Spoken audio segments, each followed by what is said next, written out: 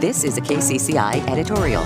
The Des Moines Public School District is proposing to join forces with Drake University to build a $19.5 million athletic stadium.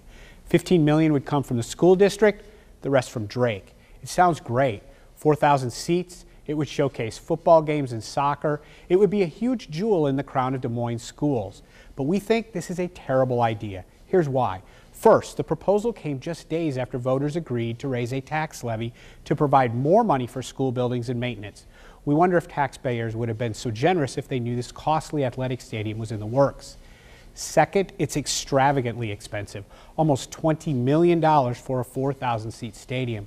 When Johnston Schools built its 6,000 seat stadium two years ago, it was the most expensive school stadium in the state.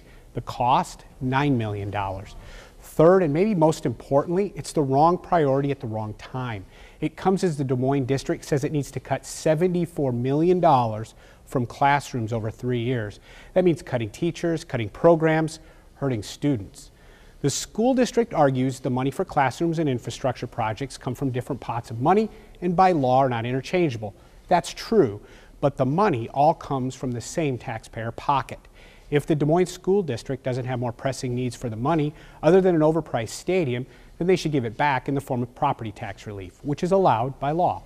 A $20 million high school stadium is a terrible idea.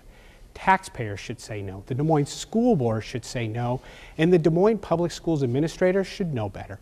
KCCI welcomes responsible replies to this editorial.